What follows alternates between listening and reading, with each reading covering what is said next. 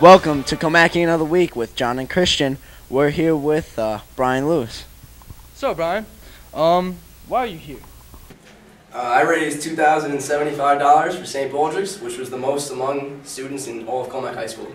Uh, Brian, did you also uh, get a haircut? I did. I shaved my hair. I was growing it out for six months.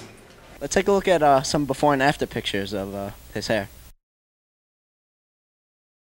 Now it's time for rapid fire. What came first, chicken or egg? Egg. Um, Mets or Yankees. Yankees. Three times three. None. Uh, shampoo or conditioner. Shampoo. Well, that's all the time we have for today. It's pretty good. See you next time.